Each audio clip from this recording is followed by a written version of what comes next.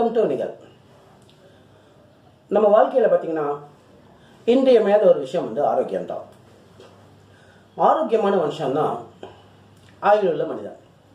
ஆரோக்கியம் இல்லாத மனிதர்கள் வந்து அல்பாயுஸ் பாதியிலேயே வந்து அவங்களோட வாழ்க்கையை வந்து இலக்கு நேரிடும் இந்த ஆரோக்கியத்துக்கு நம்ம என்ன பண்ணணும் அப்படின்னு சொல்லி கேட்டால் உணவே மருந்து. சிறப்பான உணவு. இயற்கை உணவு.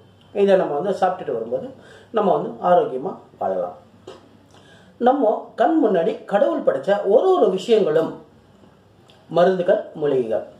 ஆனால் நமக்கு அது தெரியறதில்லை.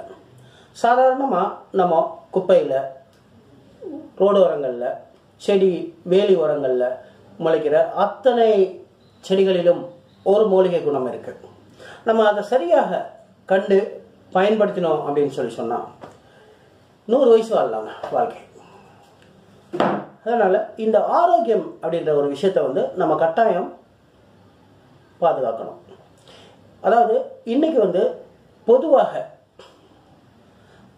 அதிக எண்ணிக்கையில் உள்ளவங்களுக்கு முட்டி வலி இந்த கால் மூட்டு வலி அப்படின்றது மிக அதிக அளவில் காணப்படுது.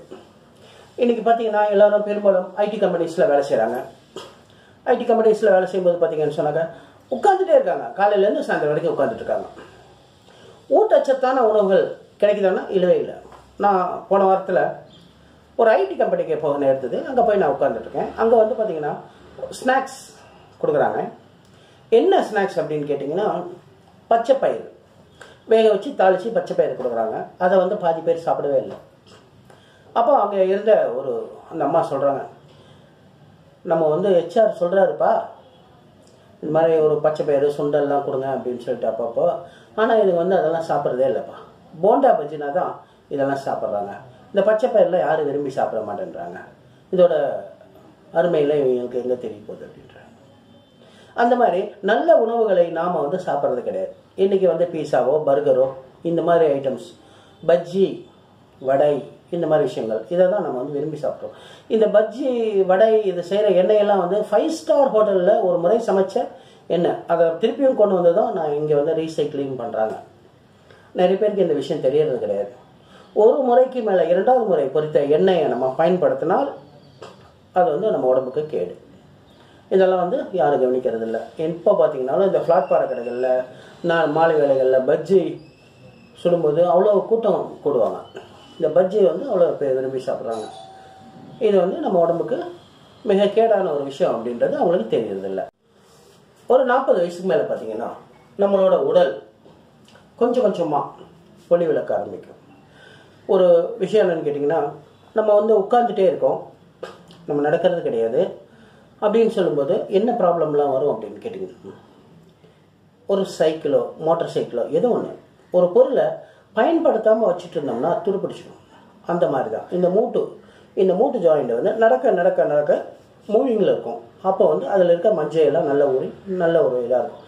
நம்ம அதிகமாக நடக்கிறதுல போது ரொம்ப நேரம் அப்படியே வச்சுட்டு இருக்கும்போது அங்கே வந்து பார்த்திங்கன்னா அந்த இதெல்லாம் வந்து அதுக்குள்ளே இருக்க அந்த ஜவ்வு இதெல்லாம் வர வறட்சி தன்மை ஆகிடும் வந்து நம்ம நடக்கும்போது அந்த மூட்டு வலி வர ஆரம்பிச்சிடும் இதுக்கு வந்து ஒரு இயற்கையான ஒரு எளிமையான எளிமையான மருத்துவம் என்னன்னு கேட்டிங்கன்னா உப்பு. உப்பை வந்து பொடி பண்ணிக்கணும். அதாவது கல் உப்பை பொடி கல் உப்பை பொடி பண்ணணும். நீங்கள் வந்து டாட்டா சால்ட் அந்த மாதிரி வாங்கி யூஸ் பண்ணக்கூடாது. வெறும் கல் உப்பு கடல்லேருந்து எடுக்கிற கல் உப்பு. நல்லா பவுடர் பண்ணிவிடுங்க பவுடர் பண்ணிவிட்டு ஒரு கால் லிட்டர் நல்லெண்ணெய் வாங்கிடுங்க. இந்த கால் லிட்டர் நல்லெண்ணெயில் இந்த உப்பை வந்து முக்கால் வாசி முழுகிற அளவுக்கு நீங்கள் போட்டுடுங்க ஒரு பாட்டிலில் போட்டுட்டு நல்லா குளிக்கிடுங்க. குளிக்கிட்டு இதை வந்து நீங்கள் ஸ்டோர் பண்ணி வச்சுருங்க. இது ஒரு பதினஞ்சு நாள் பத்து நாள் அதுக்குள்ளே அப்படியே ஃபில்டர் ஆகும். ஆன பின்னாடி அந்த எண்ணெய் எடுத்து அப்படி குளிக்கிட்டு நீங்கள் இரவில் படுக்க போகிற நேரத்தில் அந்த காலில் வந்து அப்படி அந்த மூட்டில் வந்து நீங்கள் அப்ளை பண்ணும்போது அந்த வலி குறையிறதுக்கு வாய்ப்புகள் அதிகம் இருக்குது குறைஞ்சபட்சம் ஒரு ஐந்து முறை பத்து முறை நீங்கள் அதை தடவும் போது சுத்தமாக அந்த வலி எடுக்காது. அதாவது நம்மளோட இந்த மயிர் கால்களுக்கு உள்ள எண்ணெய் வந்து ஊடுருவி உள்ளே போய் அங்கே அந்த பகுதியை வந்து வேலை செய்ய வைக்கும். இது வந்து சிறப்பான மருத்துவம். இதை கட்டாயம் நீங்கள் செய்து பாருங்கள் நல்ல பலன் கிடைக்கும். அது மட்டும் அல்லாது உள்ளுக்கு சாப்பிட்ற ஒரு மருந்து இருக்குது அதாவது நோய் எதிர்ப்பு சக்தி தான் எல்லா விஷயத்துக்கும் காரணம்.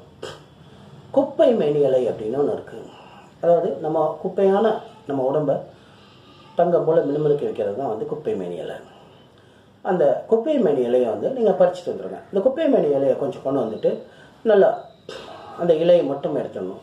எடுத்துட்டு ஒரு ஒன்றரை டம்ளர் ரெண்டு டம்ளர் அளவுக்கு தண்ணி வச்சிடணும். தண்ணி வச்சுட்டு அந்த குப்பை மேனி இலையை நல்லா கழுவிட்டு உள்ளே போட்டுட்டு நல்லா கொதிக்க வச்சுருங்க.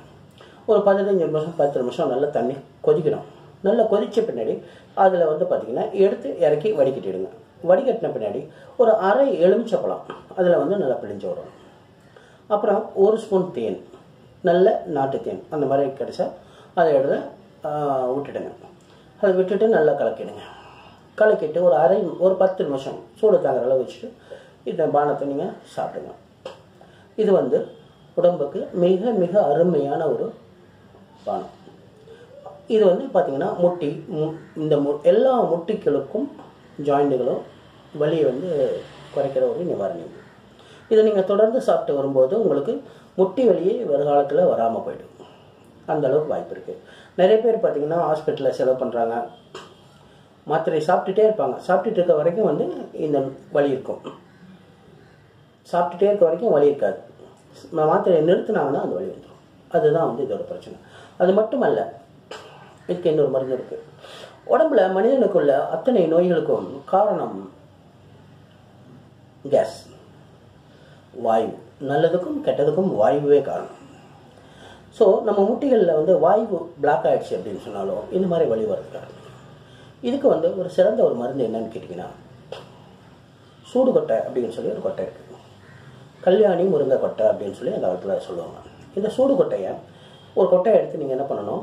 ரெண்டாக உடச்சிடணும். உள்ள பருப்பு இருக்கும். இந்த பருப்பை நல்லா பவுடர் ஆக்கிட்டு ஒரு முட்டையோட உடச்சி ஆஃப் பாயில் மாதிரி போட்டுட்டு நாட்டுக்கோழி முட்டை கட்டாயமாக நாட்டுக்கோழி முட்டையாக தான் இருக்கணும். ஆஃப் பாயில் மாதிரி போட்டு அந்த பொடி அது மேலே நல்லா அப்படியே தூவிட்டு அதை எடுத்து நீங்கள் அப்படியே போட்டு வாயில் சாப்பிட்ருங்க மூணு மு- மூணு மூணே மூணு கொட்டை சாப்பிட்டீங்கன்னா போதும். உங்கள் உடம்புல இருக்க தேவையில்லாத வாயுக்களை இது கலைந்து விடும் இது வந்து அருமையான மருந்து. பயன்படுத்தி பாருங்கள் நம்ம வந்து வாழ்க்கை வாழ்கிறதுக்காக நோய் வந்துட்டால் வாழ முடியாது.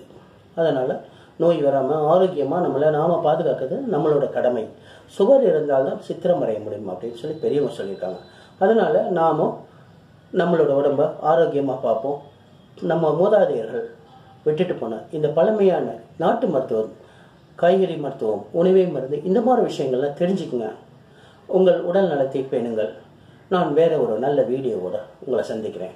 நன்றி வணக்கம். உங்களுக்கு ஏதாவது தேவைன்னா நீங்கள் வந்து கீழே பாக்ஸில் கேளுங்க. உங்களோட பிரச்சனைகளை கேளுங்க. இந்த பதிவு நல்லா இருக்கான்னு சொல்லுங்கள் நல்லா இல்லைன்னு சொல்லுங்கள் நீங்கள் சொன்னீங்கன்னா தான் எங்களுக்கும் ஒரு ஆர்வமாக உங்களுக்கு இந்த மாதிரி விஷயங்களை நம்ம தர முடியும். நன்றி வணக்கம்.